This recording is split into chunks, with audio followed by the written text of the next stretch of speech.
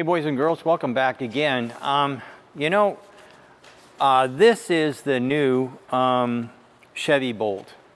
Uh, this is uh, the, uh, the higher version of this. It's the Bolt 2 LT. Um, its base price is uh, 34000 uh, but this one here is uh, 38.6. Um, I've been kind of cruel or harsh on, uh, on GM because I keep hearing about cars that people either can't afford or don't really, uh, don't really appeal to what I think is the market segment that they're in. But you know what? Um, I have to suck some of that back a little bit. I've seen the pictures of this, but I, did, I never really, um, this is my first real glimpse at the actual uh, car out the door. And uh, this doesn't look so bad. Now, at, uh, at 36 or 38,000, uh, that kind of eliminates a lot of folks, but there is a Bolt 1 LT, and that one starts at uh, 26.6. If you take the 26.6 and, um, and the House and Senate, uh, you know, get off their tail and uh, approve the new, uh, uh, the new grants, you can take another 7,500 off, and now you're at $1,900 for this, uh, for this type of a vehicle. It won't look quite like this. I'm sure it's going to be only the, uh, the very few are going to be able to get a plain Jane because really uh, car companies don't like to build them. They, they don't make much money on them, if any.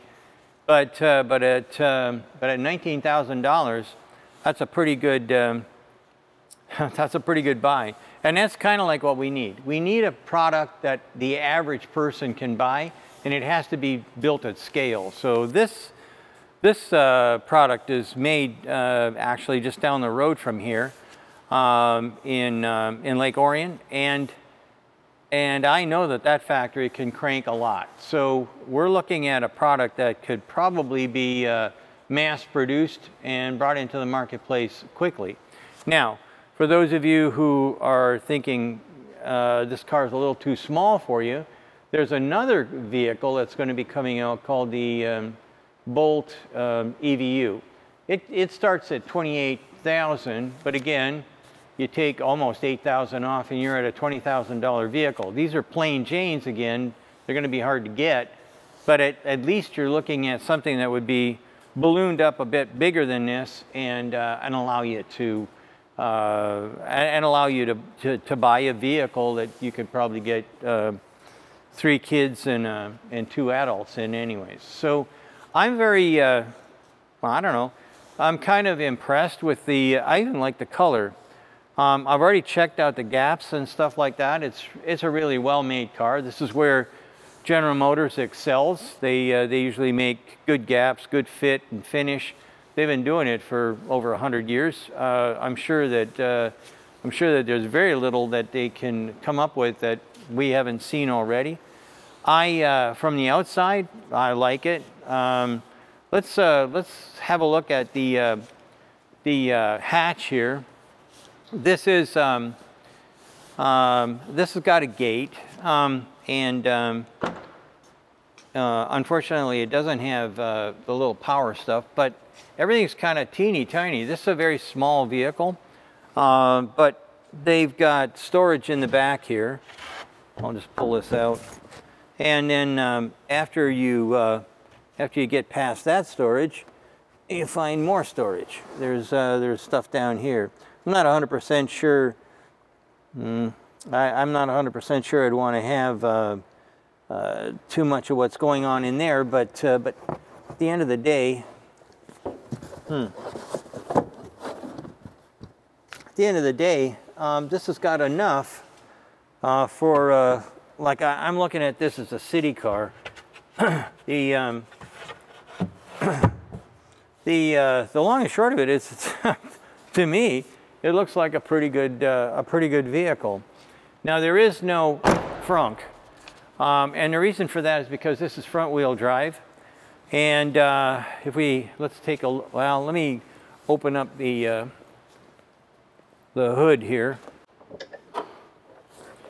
You can see that it's pretty much chock a block. You've got the inverter, you got the motor, you got the little um, gearbox, all of the um, all of the heating and cooling, everything is done up here. So with a car this small, there's no real point in trying to take something that small and turn it into uh, another place for storage.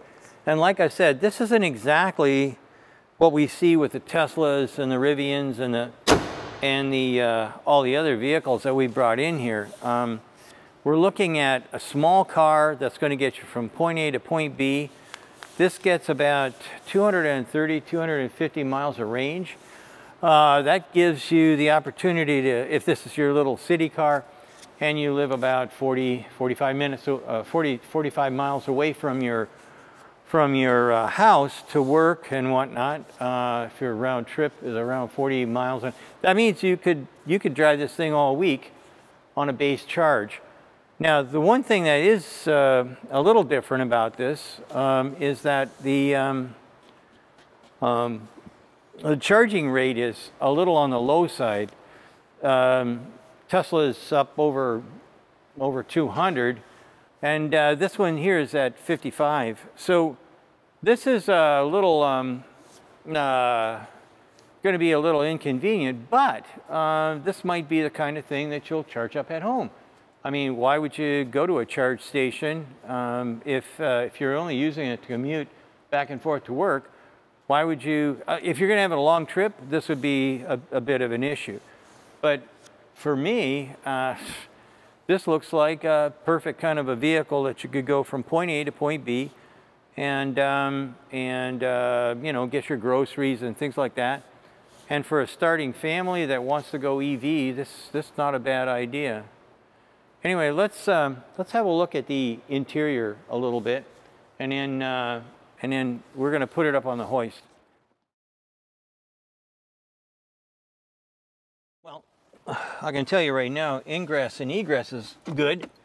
Um, it's uh, it's going to be, the door is relatively big for the front. Um, uh, I don't know what giant was in here before, but anyway, the controls seem to be uh, in a good way. I don't have the keys, so everything's not popping up. But the uh, but at the end of the day, there's a limited number of buttons, which I kind of like. Um, it has a but individual buttons for the uh, Prindle. So there's park, uh, reverse, um, neutral, drive. It's uh, hmm, different. Uh, personally, we're getting to the points where I, I think pretty soon we're going to see all this stuff disappear and there'll just be um, a little knob or something. Uh, but uh, but the inside looks uh, looks pretty nice. It's a huge windshield. Um, that's why they've got these giant windshield wipers.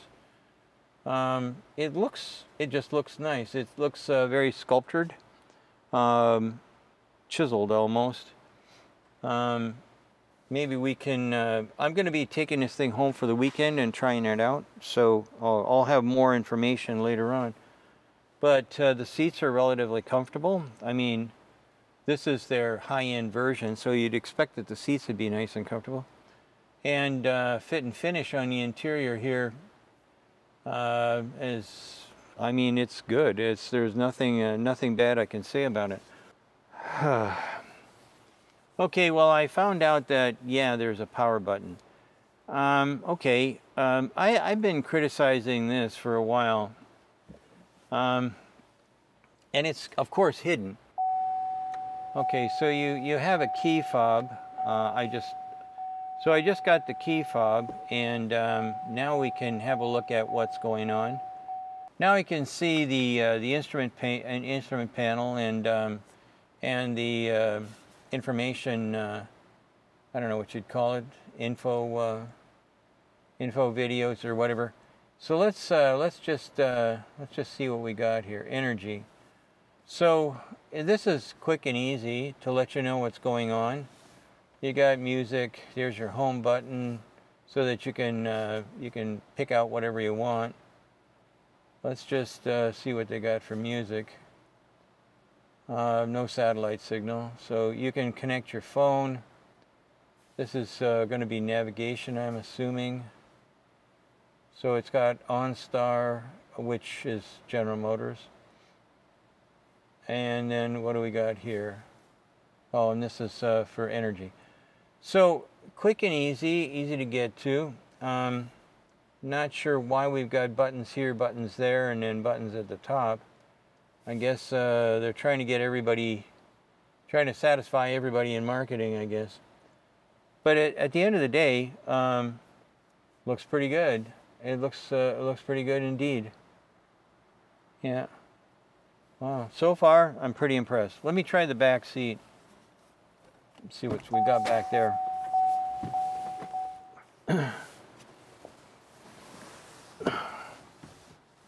so um, there's enough room for me in here. So if you're an average sized person, um, this would be uh, this would be just fine. Uh, you got a big guy, and um, he's gonna he's gonna be a little cramped in here. Um, pretty standard here for uh, armrest, cup holders, kind of stuff. All in all, though, I got plenty of headroom. So what I'm trying to do is have a look at this car that I've got, which is the luxury version, and think about what it's going to look like when I see the um, the 1LT. And I think that the 1LT is going to be just fine. It'll probably have cloth seats. It'll probably um, not have as much chrome and whatnot, but still in all, I think that this is going to be a pretty good buy. I'm uh, I'm pretty uh, pretty happy with what General Motors has got out here today. Uh, so uh, so yeah, this is uh, this is pretty good. All right, we're going to pick and put it up on the hoist so I can have a look at what the suspension looks like. And then, like I say, I'm going to do a ride and drive over the weekend and tell you what I think. So let's, uh, let's get it up in the air. Okay, so we're underneath the bolt now, and uh, there isn't much to say. This is about as uh, inexpensive as you can get. Um, the only thing that's really unusual is, um, is this A-arm, which is um, uh, forged aluminum. Normally I would expect if somebody goes into the cheap mode, uh, you don't usually see this. You'll see a casting. Not only that, this one actually is machined, has internal uh, uh, lightning holes machined into it. So the, the suspension here has been around for a million years. This coilover shock. This is a MacPherson strut. Um, there's no fancy uh, Nothing fancy on this at all. Everything here is about as, uh, about as simple and as inexpensive as you can get. I was expecting inexpensive because, quite frankly, the car itself is inexpensive. So uh, from up front, uh, no big shocks, no, no, uh, no dramatic uh, engineering to talk about. So it's kind of easy peasy. The one thing I'm, just occurred to me is it has probably the smallest uh, disc brakes I've seen in quite some time. I'm just wondering why we're not, uh, because everybody's doing regen and things like that, why aren't we looking at drum brakes, bringing those back? Uh, they're less expensive and, uh, and they would be good enough, I think, in the situations we've got now. Let's move to the back. Um, you can see that it's got a, a pretty nice undercarriage from a pass-by standpoint. This will make very little noise. And then we get back here and uh, again, this is about as inexpensive as you can get for a rear suspension. It's called a twist beam. Um, it's not a, there's nothing extraordinary about it. Um, it's basically, it is a basic, a basic system that you use on a small, um, inexpensive car. There's, like there's not much to say.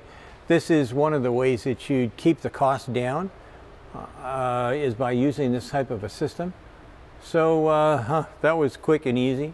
The one thing I will tell you though is um, in looking at the way this is constructed and knowing where all the weight is, think this is going to be an exciting, uh, exciting ride. I think this is going to give me a different kind of a, a different kind of a ride. So I'm taking it home on the weekend and I'll let you know what I thought of the vehicle ride and drive uh, uh, in the in the next uh, in the next video. So stay tuned. There's more to come.